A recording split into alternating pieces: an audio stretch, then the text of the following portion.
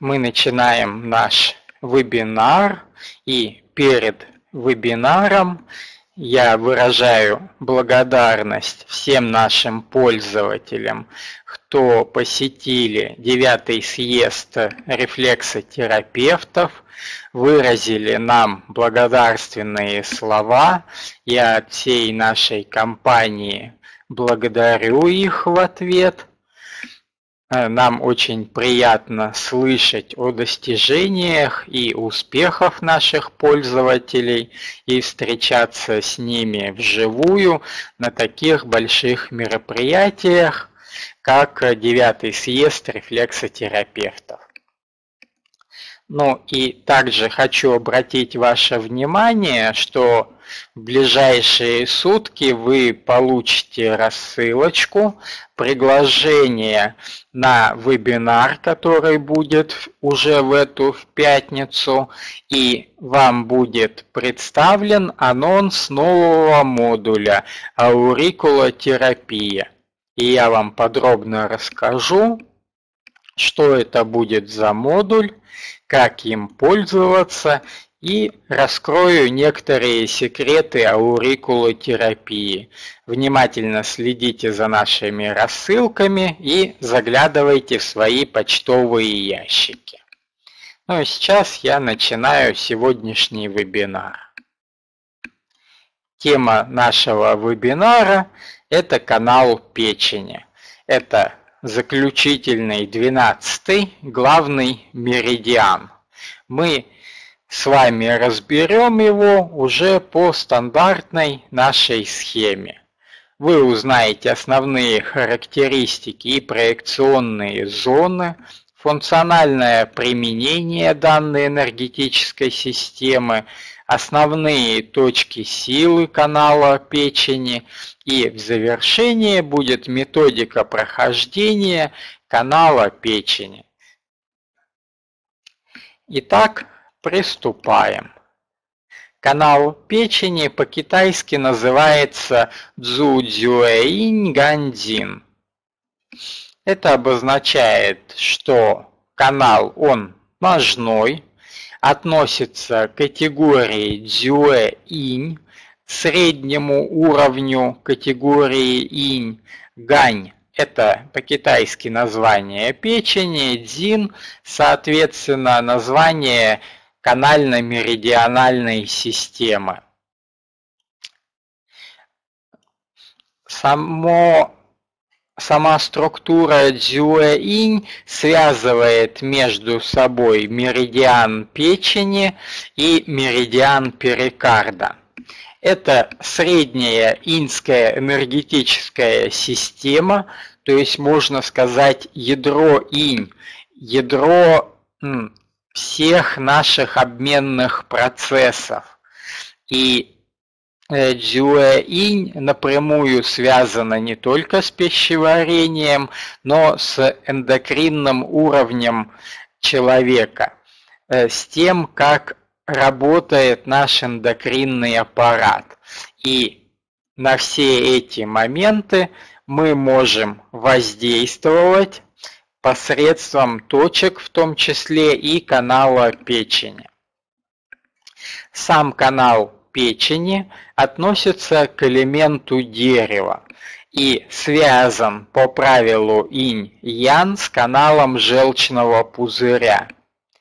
Вместе эти два меридиана запускают многие циклические процессы в нашем организме. Вспомните, все то, что я рассказывал про меридиан желчного пузыря, это как бы первый импульс, а меридиан печени – это структурирование этого импульса, энергетическая поддержка и наполнение э, начала-начал, ну и поддержка всех обменных процессов.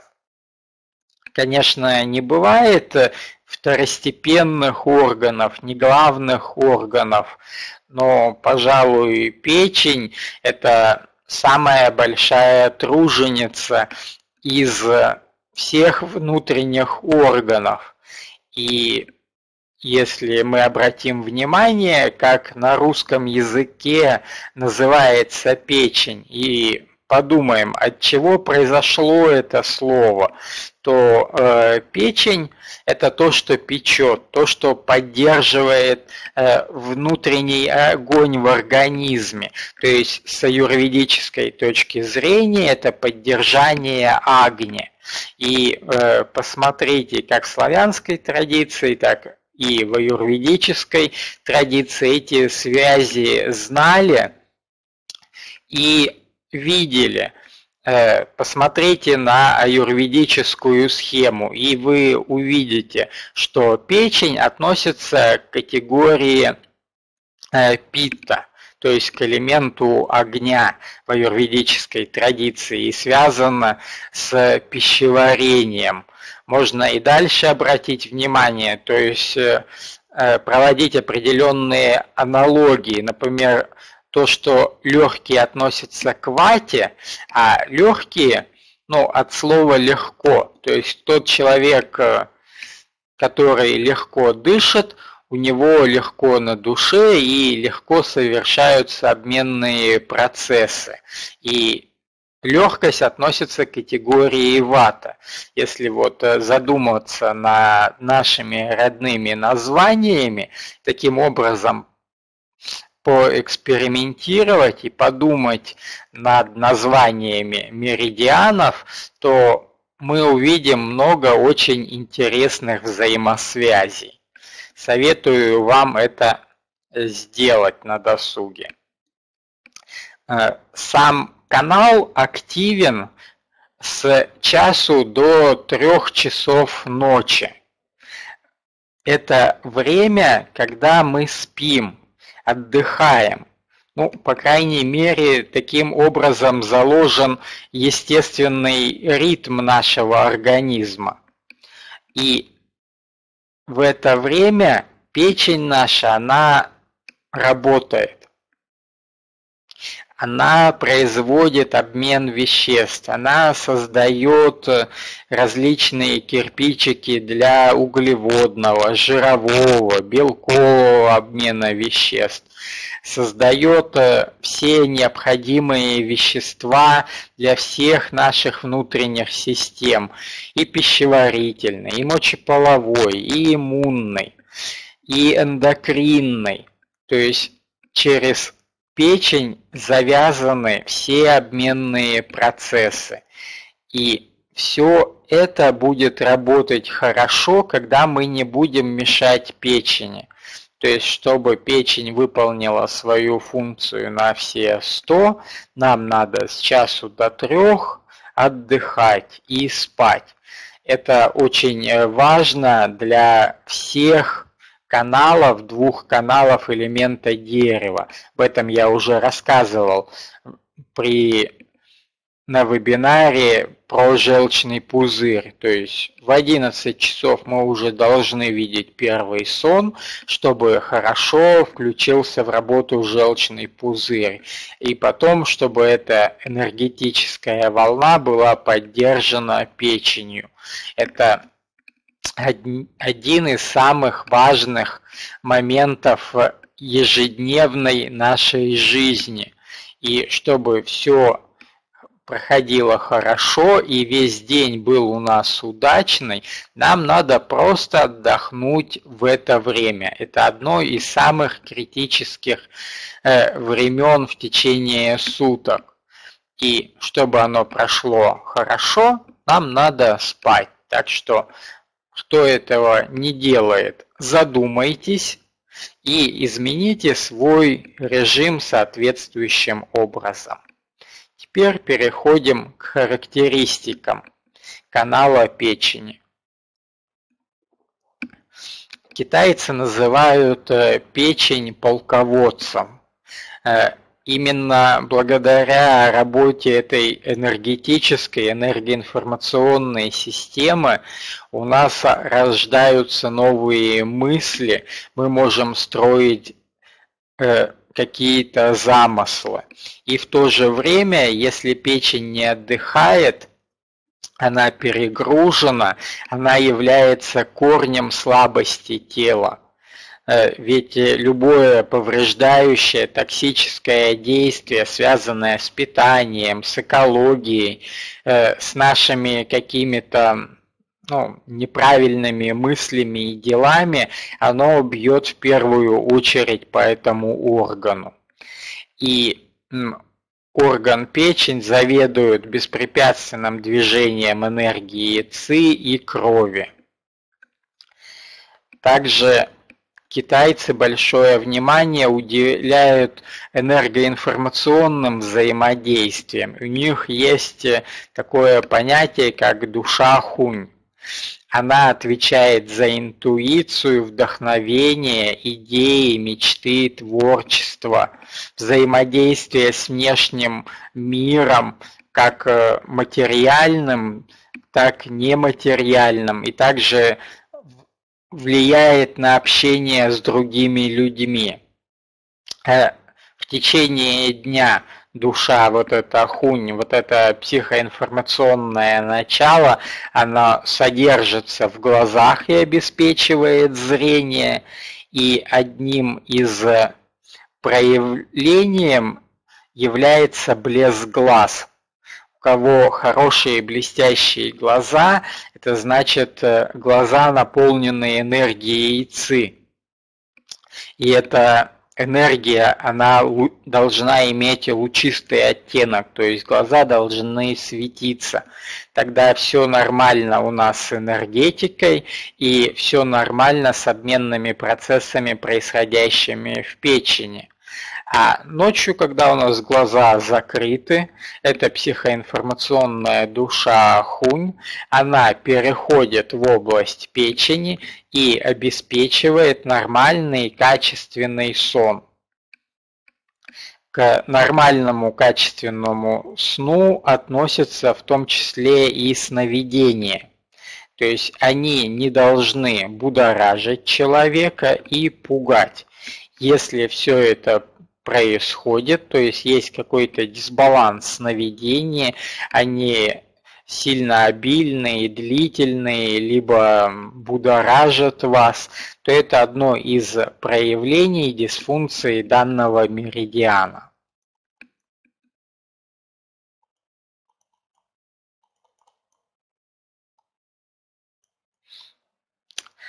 Канал печени, он трансформирует и перераспределяет энергию ЦИ и кровь, регулирует эмоции, стимулирует деятельность пищеварительной системы, поддерживает обмен жидкостей. У женщин влияет на месячные. Это один из первых и наиглавнейших меридианов для репродуктивной системы, особенно у женщин. У мужчин влияет на семяизвержение и качественные показатели семени, хранит и регулирует кровь, то есть все, вся кровопотеря – наклонность к кровотечениям как по западным, так и по восточным меркам относится к функции печени. Управляет всеми видами обмена веществ и может усиливать любую функцию организма. Помните, мы когда общались с вами по поводу канала селезенки я говорил, что канал селезенки подпитывает э, все функции организма, а вот канал печени это уже следующий орган, то есть сначала идет получение питательных э, веществ в организме, они входят через кишечник э, и попадают в энергетическую систему селезенки это вход энергии. А чтобы эта энергия материализовалась в необходимые э, составляющие части для нашего обмена веществ, и чтобы каждая энергетическая часть нашего организма получила именно нужную ей порцию, вот этим всем управляет наша печень, и она создает благоприятные условия, влияет на кровь, на зрение, опорно-двигательный аппарат, нервную, пищеварительную систему. Ну, все-все-все известные вам системы. И также нюансом является то, что управляет подкорковыми структурами и обеспечивает волевые процессы у человека. Помните, предыдущем вебинаре по желчного пузыря э, я говорил, что желчный пузырь влияет на волю и различные мании начиная, так скажем, курения, алкоголизма, наркомании, переедания, влияет желчный пузырь. И это янская составляющая э, воли, а инь составляющая воли – это канал печени. И при всех этих маниях можно использовать данные точки для укрепления воли человека. Э, система открывается в глаза, так же, как у желчного пузыря зеркалом канала являются состояние наших ногтей и эластичность сухожилий. Ногти должны быть ровненькие, без каких-то Э, выемок, бугристостей. Они должны быть э, блестящие. Ну, я тут, конечно, не говорю о наличии лака, а естественный цвет э, ногтя должен быть блестящим. И состояние кровообращения и состояние крови в каждом конкретном меридиане вы можете определить э, по ногтю. То есть э, посмотрите на свои ногти. Ну, у женщин не все вы это сможете сделать, если у вас непрозрачный лак. Но у кого прозрачный лак, это можно заметить. Но когда будете делать маникюр и у вас не будет лака на ногтях, посмотрите на этот феномен внимательно. Вы можете надавить на любой ноготь и отпустить его. И вы увидите, как только вы отпускаете, там образуется такое более светлое, э, либо практически белое пятнышко от нажатия. Это нормально но оно должно очень быстро восстанавливаться. То есть буквально в течение одной секунды должен цвет выравниваться. Вот если пятно э, белое видно дольше одной секунды, это значит уже есть нарушение в этой энергетической системе. А так как любой канал, он начинается либо заканчивается на кончиках пальцев, ну, рук и ног соответственно, то вы можете оценить кровообращение во всех меридианах и посравнивать их между собой и увидите, где есть слабое звено. Вкус, относящийся к данной системе, кислый, эмоция – гнев – это яркое выражение эмоциональности человека, но для именно канала печени характерен э, гнев в инском исполнении. То есть это не то состояние, когда люди там бьют что-то, кричат, э, кидают, ну, выплескивают эмоции. Инь гнев, он очень часто направлен во внутренний мир человека. Это можно назвать неким недовольством. Э, человек э, что-то ворчит, недовольствует, он не радуется жизни, э, так скажем, может быть, обращали внимание, есть пожилые люди, которые ходят и себе там что-то под нос там бу-бу-бу делают. Вот. Это одно из э, проявлений дисбаланса данной энергетической системы. На уровне высших психических деятельностей э, канал печени способствует получать удовлетворение от жизни, и если этой эта способность не проявлена, то у человека возникают обиды Э, вот. И хочу вам сказать, что если вы обижаетесь, то в этом, ну, так скажем, не вина окружающих. Э, это все зависит от вас. То есть ваши обиды, э, обиды любого человека, это характеристика того, что человек неправильно воспринимает мир, он недооценил ситуации, он не рассчитал ее.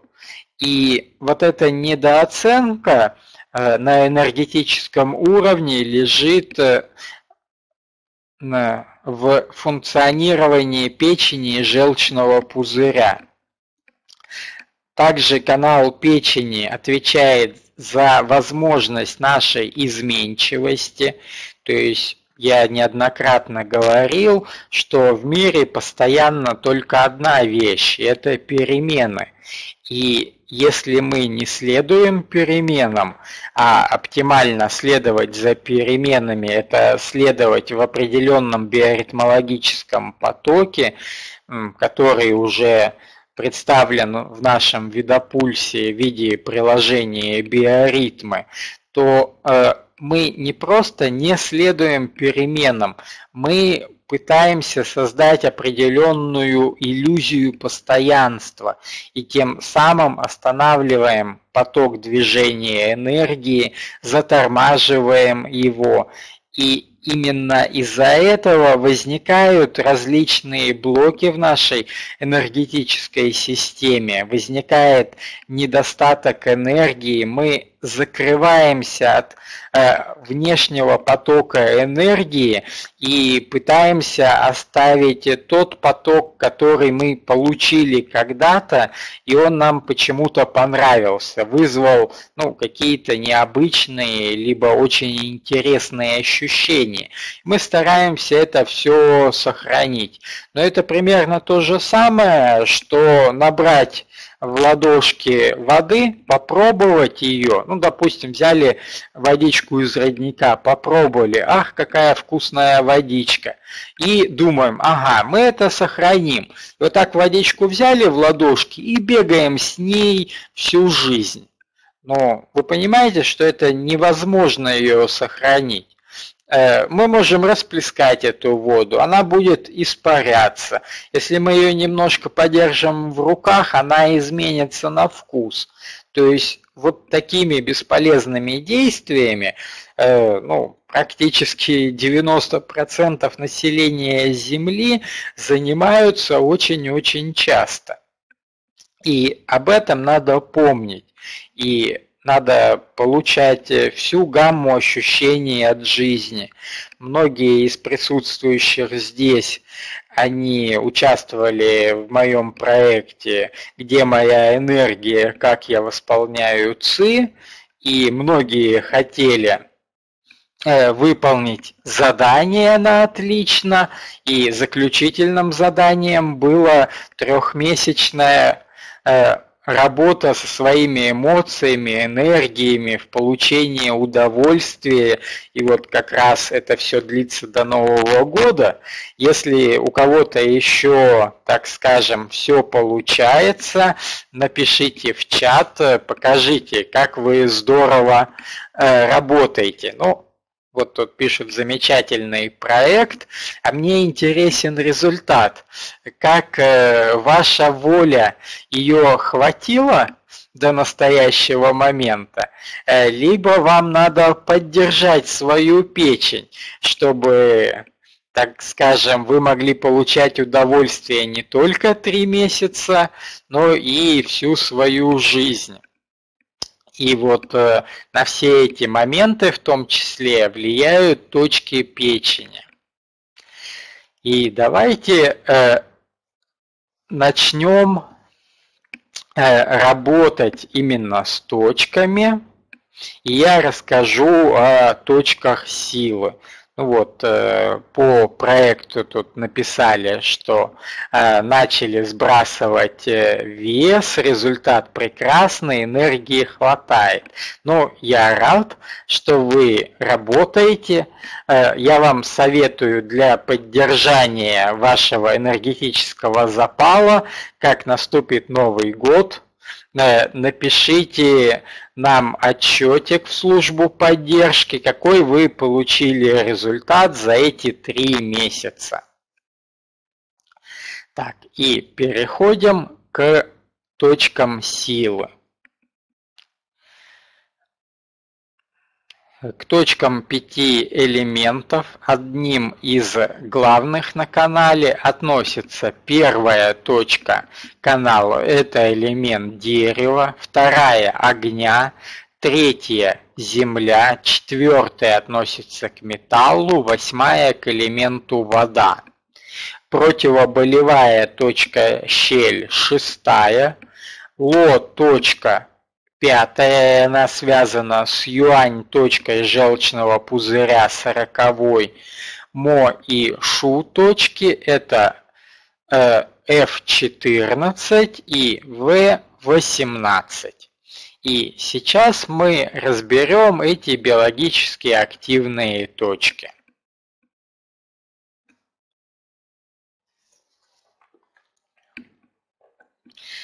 Первая точка Дадунь.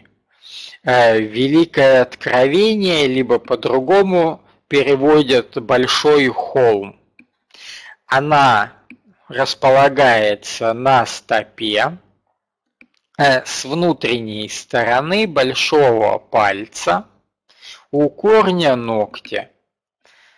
Э, на эту точку удобнее всего воздействовать э, своим ногтем, надавливать на нее. Эта точка регулирует месячные, устраняет застойные явления в мочеполовой системе, устраняет также венозный застой в самой печени. Следующая точка, вторая, Синьцзян, временный промежуток, она относится к элементу огня. Э, для воздействия на нее мы э, придавливаем точку к большому пальчику, вот в это место, перед суставчиком. То есть сама точка находится в межпальцевом промежутке, но чтобы удобнее было на нее воздействовать, ее обычно придавливают э, в сторону кости. Э, эта точка нормализует огонь печени, то есть все процессы, связанные с активацией обмена веществ печени, идут через эту точку. Эта точка гасит внутренний ветер. То есть внутренний ветер это вообще патологическое состояние. И крайним проявлением внутреннего ветра, так называемым ударом ветром, э, это состояние в европейской медицине, известное нам под инсультом. И если профилактически хотя бы раз в недельку прорабатывать данную точку, то вы резко снизите вероятность развития инсультов у себя, либо у своих близких и у своих клиентов. Это универсальная антиспастическая точка. Она помогает снимать э, спазмы в теле. Следующая точка F3. Она находится в самом узком э, месте между первым и вторым пальчиком. То есть мы вот как бы надавливаем на свою стопу и идем по промежутку, который является продолжением Э, межпальцевого промежутка. И в том месте, где косточки сходятся, и будет вот эта третья точка, тайчун, э, мощный поток. Она принадлежит э, к элементу Земля. э, к точке, и это точка юань. И вы видите, что на схеме, вот красным, нарисованы сосудики. То есть эта точка находится над достаточно мощным сосудом. И поэтому воздействовать на нее надо массажем аккуратненько. Э, если воздействуете иглоукалыванием, надо тоже быть аккуратным, чтобы не повредить этот сосуд. Э, наш замечательный ведолазер, когда работает по этой точке, он оказывает еще облучение крови, и вследствие этого улучшается общий кровоток. Сама точка восстанавливает гладкое течение энергии ЦИ, регулирует месячные, является точкой успокаивающей разум, и это также антиспастическая точка. Очень часто точку F2 и F3 используются, используют в паре для усиления антиспастического результата.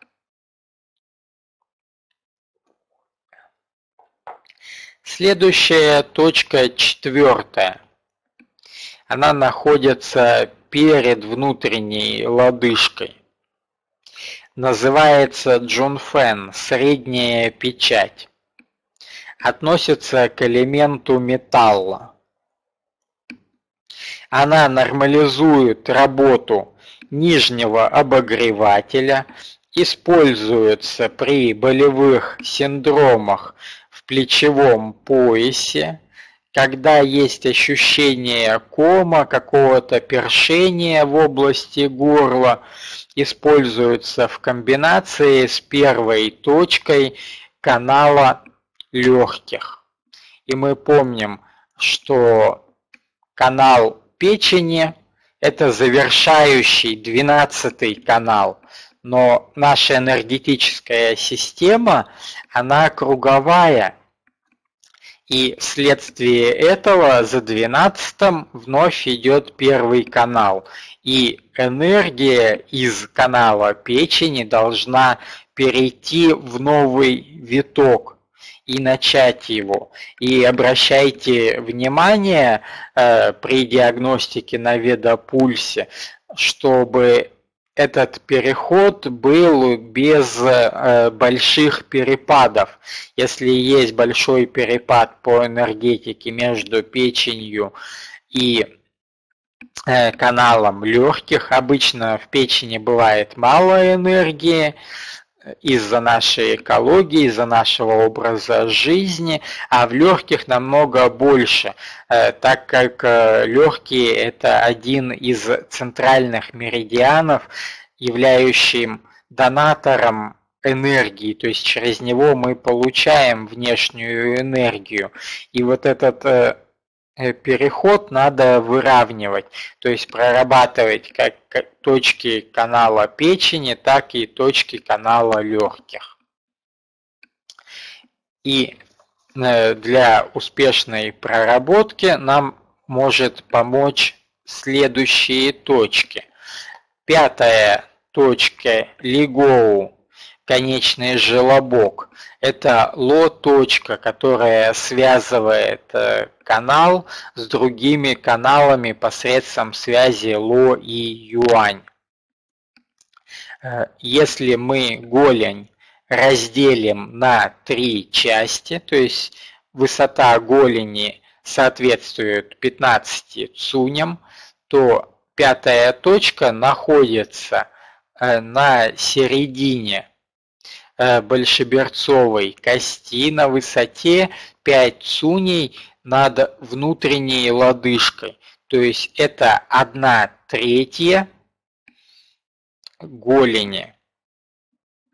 Эта точка рассасывает сырость, жар в мочеполовой системе, улучшает кровоснабжение в ногах, является точкой, регулирующей артериальное давление. Следующая точка, шестая, называется Джунду, центральная столица. Это точка щель для канала печени. Она восстанавливает ход энергии в данной системе. Она располагается практически на середине голени. То есть помним, что высота голени это 15 суней, а шестая точка располагается на 7 цуней э, выше лодыжки. То есть половина голени это 7,5 цуня, а чуть-чуть мы удобнее находить середину голени с внутренней стороны и чуть-чуть опускаться вниз. И в этом месте очень часто будет э, болезненная напряженная точка. Это как раз э, говорит о том, что движение энергии по каналу печени затруднено, есть э, запертость энергии, она не течет равномерно. Эта точка, кроме болевых синдромов и активации движения энергии, помогает восстанавливать обмен веществ. То есть э, вне зависимости от того, э, в какой системе нарушен обмен веществ, какой обмен веществ, жировой, углеводный, белковый, эта точка будет помогать в его восстановлении. И следующая точка, восьмая, это точка элемента вода, для канала она является тонизирующей. Она находится в складке коленного сустава с внутренней стороны и немного позади. Мы находим конец складочки коленного сустава и по складочке как бы движемся внутрь и упираемся в сухожилие. Нога при этом должна быть согнута в коленном суставе. Вот как мы уперлись в сухожилие по складке, вот в этом месте и будет данная точка. Э, чтобы воздействовать на нее, надо оказывать э, давление внутрь к суставу. Ну и кто работает иголочками, будьте очень аккуратны, не превышайте глубину иглоукалывания. Она везде указана в справочниках и есть в нашем видопульсе. Внимательно читайте описание к точке, там в самом низу указана глубина иглоукалывания. Потому что если вы превысите эту глубину, то можно попасть точно э, в суставную щель. То есть нарушить целостность сустава. Вот делать этого абсолютно не надо. Это спецточка с воздействием на органы малого таза, при заболеваниях суставов она комбинируется с пятой точкой канала тройного обогревателя. Э, данная точка она питает кровь печени, то есть выполняет детоксик, Э, выполняет э, детокс э, всего нашего организма. То есть раз она прочищает кровь печени, значит она прочищает всю кровь, потому что печень набирает через кровь токсины. И в завершении осталось две точки шу и мо на данной системе mo.f14 цемень э, ворота времени находятся на этом же меридиане. Это завершающая точка наружного хода. Она расположена по средней ключичной линии в шестом межреберье. Это одна из важных точек для воздействия на пищеварение, на работу всего желудочно-кишечного тракта и также влияет на дыхание. Китайцы говорят, что легкие – это э, веточки и листики дыхательного дерева. Печень – это ствол дыхания, а корнями дыхательной системы являются почки, и об этом всегда помните. И данная мо-точка отвечает за все инские процессы, протекающие в канале печени. Э, точка Шу – это В18, Ганьшу, располагается по передней Э, располагается по первой линии канала мочевого пузыря и находится между девятым и десятым ребром. Она отвечает за все ян-процессы в данном органе, обладает кровоостанавливающим действием, ее полезно использовать, когда имеется наклонность к кровотечениям. Э, используется также для анальгезии области головы и сухожилия, э, влияет на наше зрение. Вот э, такие эффекты дает данная точка. Поступил вопрос в чат. Э, у меня точка дня рождения это F4. Какие свойства у точки в связи с этим? У любой точки, которая связана с днем рождения, она поддерживает человека всю жизнь. Никаких специальных свойств от этого не появляется.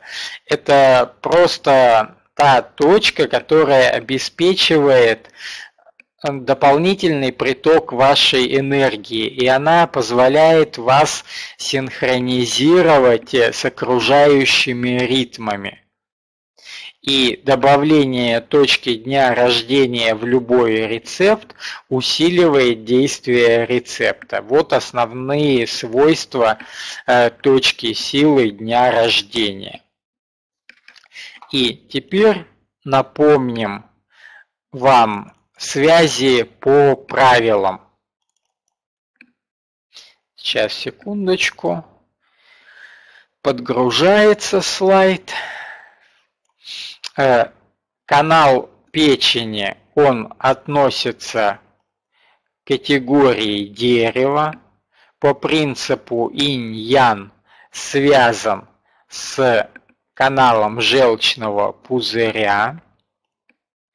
И эта связь идет через точки Ло и через точки Юань.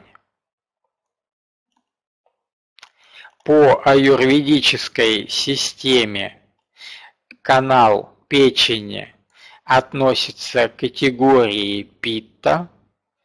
Также помните время активности данного канала с часу до трех ночи. И самое главное, помните, что в это время вы должны спать, отдыхать. По пульсовой диагностике канал печени является мужем э, канала селезенки, то есть энергетика печени должна быть чуть-чуть больше, чем энергетика селезенки.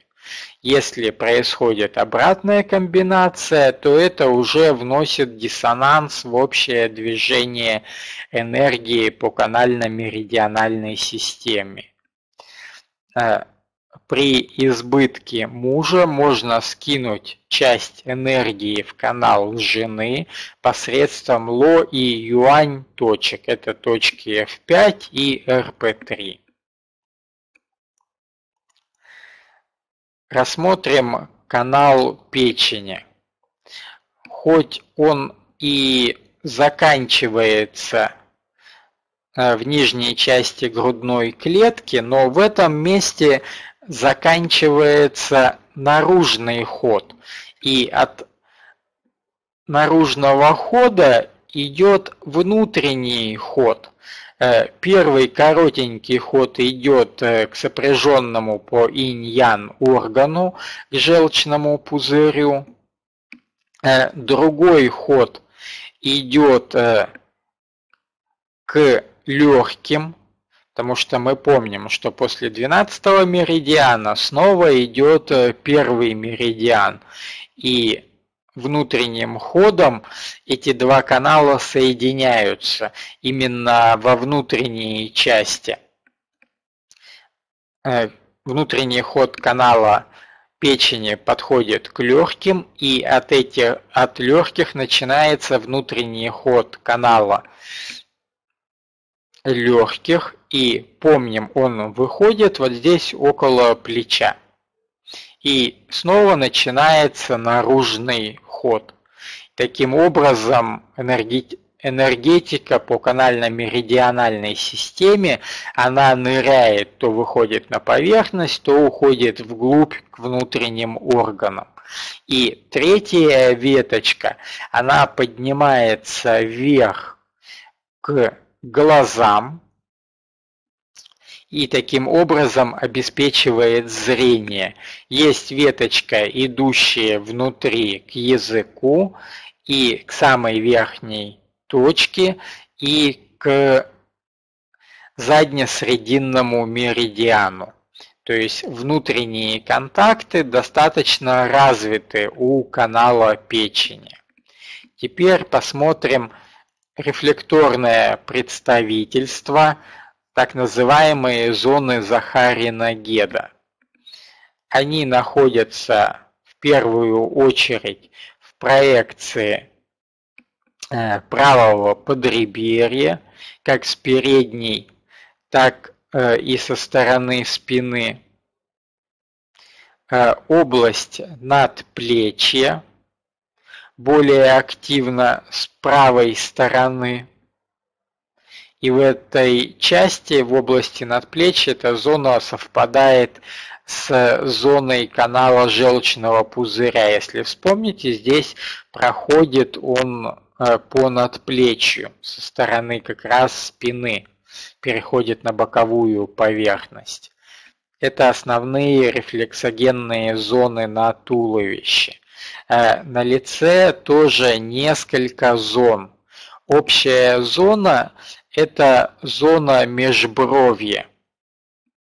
Э, также состояние э, начальной части брови у внутреннего края глаза указывает на состояние печени. Э, также на дисбаланс в области печени указывают морщинки в области межбровья, особенно если морщинка более сильная с правой стороны, это показывает нагрузка на, указывает на нагрузку на область печени. Также область висков, она связана с состоянием желчеотделения и работы печени.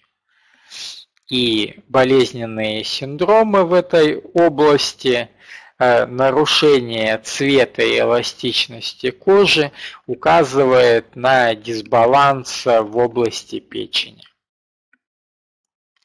Это основные теоретические моменты, что я вам хотел рассказать о канале печени. И теперь переходим к практической части прохождению данной энергетической системы. Напоминаю, что для лучшего прохождения оптимально вначале запустить малый круг циркуляции энергии. Для этого сначала запускаем заднесрединный меридиан через точку ключ, третью на канале тонкой кишки и прохлопываем от крестца по задней срединной линии по вдоль всей спины, голове к верхней губе. Далее активируем передний срединный меридиан через седьмую точку канала легких, точка ключ его. прохлопываем от лона по передне-срединной линии вверх через грудную клетку, шею, э, нижнюю челюсть к области рта. Языком касаемся э, верхних зубов, точнее неба э, перед передними зубами и таким образом зацикливаем энергетический круг и запускается малый небесный круг. И далее начинаем прохлопывать канал печени. Начинается воздействие с большого пальчика, с внутренней ну, точнее, с наружной его стороны, то есть той стороны, которая была обращена ко второму пальчику. Это место удобнее растереть своими пальчиками, потом начать прохлопывать по тылу стопы, по внутренней поверхности голени и бедра, аккуратненько прохлопываем по паховой области, выходим на область живота и смещаемся к среднеключичной линии. И идем по этой линии вверх. Но помним, что в этом месте канал не заканчивается, заканчивается только наружный ход канала. И это у нас э, шестое межреберье. Э, мы продолжаем прохлопывать э, в зависимости от цели нашего воздействия. Если мы хотим оказать воздействие на мозговое кровообращение, на наше зрение, на высшие э, функции, на ощущение вкуса, то есть что-то связанное с пищеварением, то мы продолжаем прохлопывать вверх наружного угла глаза и далее вверх к самой высшей точке головы. Если у нас стоит цель запуска большого круга циркуляции энергии, и у нас есть блокировка между печенью и легкими, то мы прохлопываем к центральной линии тела, идем по средней линии тела до еремной вырезки и дальше прохлопываем к первой точке канала легких. Если есть время, то оптимально прохлопать весь канал легких по направлению к большому пальцу. И таким образом мы включим э, новый круг, то есть один круг заканчивается на канале печени, новый круг начинается на канале легких. Таким образом мы поможем движению энергии по нашим каналам и меридианам. И в заключение я вам расскажу, какие точки будут дежурными в январе. Сам канал печени, он связан с энергией января. То есть, чтобы все 12 меридианов закончить к Новому году, мы немножечко ускорились, и поэтому эта информация идет э, ну, чуть-чуть вперед на один месяц. Э, весь январь канал печени будет активен с 7 января по 5 февраля и самой активной будет точка F3. Также данная точка F3 будет дежурная 8 января, F4 включится 20 января, а F8 дополнительно включится 1 февраля. Китайский месяц, он немного сдвинут по сравнению с западными, поэтому попадаются точки на другом месяце. Прорабатывайте данные точки, работайте прохлопыванием канала печени, на этом мы завершаем наш э, большой небесный круг по 12 меридианам. Э, вы их освоили, применяйте это на практике и изучайте и продолжайте практиковать традиционную медицину китайского направления и аюрведического направления.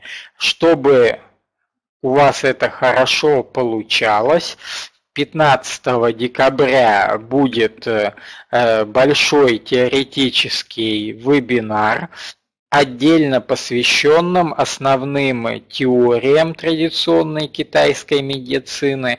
Я расскажу про теорию иньян и усин. Я периодически частями рассказывал это все уже. А сейчас это соберу вместе, сделаю необходимые акценты, ну и добавлю, конечно же, новую информацию. Э, и сейчас я отвечу еще на один вопрос, поступившим в чат. Получается, что надо ежедневно проходить все каналы. Да, совершенно верно. Если вы это будете делать, регулярно, у вас не будет застойных явлений. Э, можно делать разными способами. Э, можно выделить ну, где-то в течение часа чтобы пройти подряд все 12, либо поступать э, другим способом, находить 5-10 минут раз в 2 часа, то есть китайский час, который является активным сам меридиан, в европейской системе он занимает 2 часа. То есть вот в эту двухчасовку вы можете проходить меридианы. Но здесь возникает вопрос, что делать с ночными меридианами. И поэтому э, лучше прохлопывать не перед самым сном, а хотя бы заканчивать прохождение меридианов за 2-3 часа до сна, иначе вы можете не уснуть. И поэтому оптимально лучше в качестве утренней гимнастики там пройти несколько меридианов, потом, когда будет свободное время, еще там 3-4. Так вот разбить на кусочки и в течение дня проходить. Даже если вы хотя бы раз в неделю пройдете весь круг, это будет очень замечательно. Э, благодарю вас за внимание. Жду вас э, на следующем э, наших мероприятиях, на наших вебинарах. Всего вам доброго. До свидания.